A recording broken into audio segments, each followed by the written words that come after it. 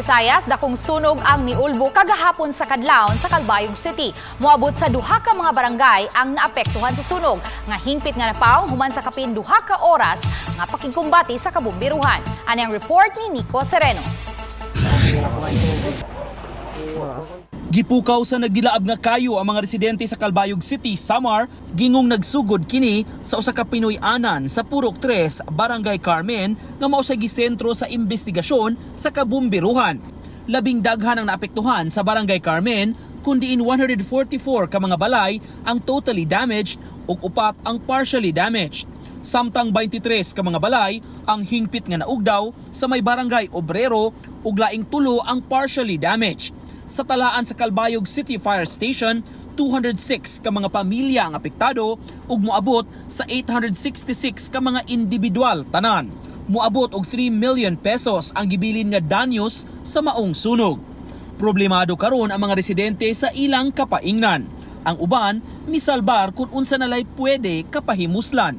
Mahirap na i ano lang yung mga gamit. Talaga malaki na, malaki na apoy. Saka wala na akong magawa. Pagising ko, mga anak ko lang inawakan ko.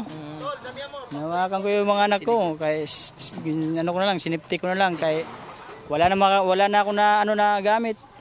Dahil bago pa lang yung bahay ko. Ma, ma 1 million ang gasto. Sa Sports Center sa Calbayog City, kasamtangang gipahimutang ang mga nasunugan. Mauna sab kini ang nagsilbing donation area sa mga buot mo paabot sa ilang hinabang sa mga nabiktima.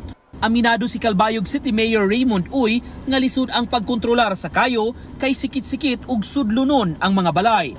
Misaad ang syudad ug hinabang sa mga naapektuhan. I hope man ma maintindihan ng mga ah, nakatayo dati doon na ah, lala pa luluwagan natin yung ah, kalsada nila. And ah, based on recommendation sa ah, Crisis Management Committee kanina, one is the hydrant, water hydrant.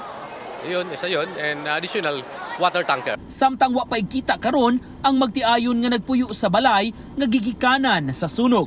May tabi-tabi nga nag-away ang duha nga mo'y nakaingon sa dakong kayo apan kuhaan pa sila og pamahayag. Actually po, uh, daming curses na naririnig natin.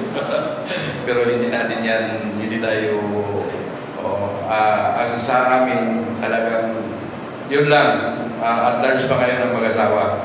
Oh, kailangan namin mahanap sila kasi sila talaga ang makakapagbigay alam sa atin kung ano talaga ang totoong nangyari. Oh, under investigation pa po tayo.